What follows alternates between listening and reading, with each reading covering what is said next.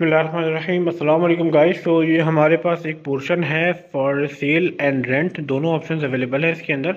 ये इन्होंने सेपरेट किया हुआ बिल्कुल। फ़र्स्ट फ्लोर से रास्ता इनका सेकंड फ्लोर का विथ रूफ है ये ना?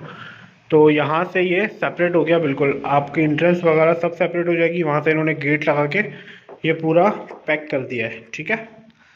तो यहाँ से आपका सेकेंड फ्लोर और विथ रूफ आपकी बिल्कुल सेपरेट है। कोई नहीं आ सकता है ज़्यादा से ये इसका ड्राइंग रूम का गेट है।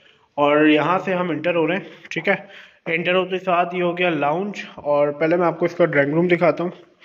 ये इसका ड्राइंग रूम हो गया, ठीक है? और ड्राइंग रूम अच्छा खासा बड़ा इसका। इसका सेपरेट गेट हो गया फॉर द गेस्ट ठीक है? और विंडोज़ वगैरह देख लें आप लोग, उन्होंने बहुत अच्छी ज़बरदस्त करके ये जो है इन्होंने वेंटिलेशन का भी ख्याल रखा हुआ है विंडोज़ दो दो दी हुई है और एलिवेशन इसकी बहुत अच्छी है। एलिवेशन शायद मैं आपको ना दिखा पाऊँ। टेरेस आप लोग देख लीजिए ठीक है? ये टेरेस है ये भी सेपरेट है बिल्कुल अच्छा खासा बड़ा है ये। और मिरर्स वगैरह के सारे अच्छे काम किए हुए इन्होंने फैंसी बनाया हुआ है काफ़ी। और ये हो गया लाउंज इसका। लाउंज के अंदर भी दो दो विंडोज़ दे दी इन्होंने वेंटिलेशन के लिए ठीक है? ये आप इसका लाउंज देख लें अच्छा खासा बड़ा लाउंज है ये भी। थ्री बाई डी है ये विथ रूफ है। और इसकी जो आ, सेल की डिमांड है, वो है तीन करोड़ विथ क्योंकि ये विथरूफ है, ठीक है, और ब्लॉक एच है, नॉर्थ अहमदाबाद सबसे प्राइम ब्लॉक है ये।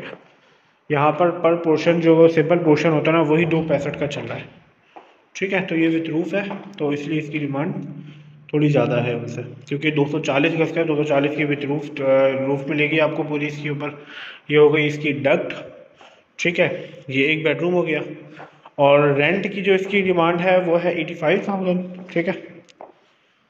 ये हो गया एक बेडरूम ये हो गया जनाब दूसरा बेडरूम इसका, ठीक है?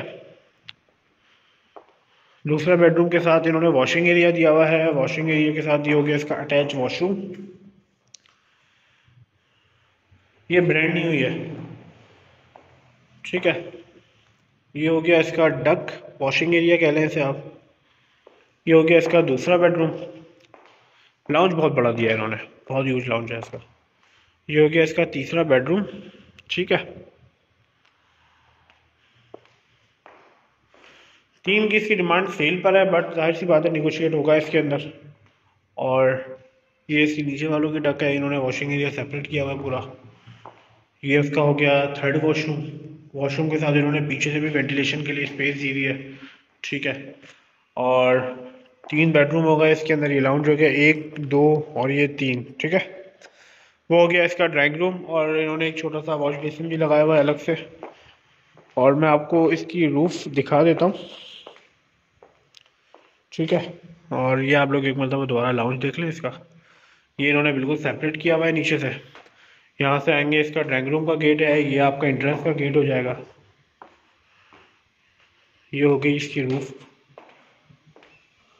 रूफ के ऊपर भी गेट इन्होंने सेपरेट किया हुआ ये हो गई इसकी रूफ पूरी और ठीक है। दोनों चीज़ें मैं आपको बता चुका हूँ, इंशाल्लाह कोई भी डिटेल होगी, कोई भी क्यूरी होगी तो मुझसे आप लोग पूछ सकते हैं। ऊपर भी इन्होंने वॉशरूम बनाया हुआ है। ठीक है।